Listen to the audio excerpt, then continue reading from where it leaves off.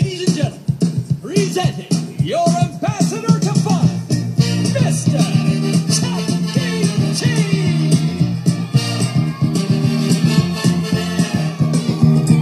Hi there! I used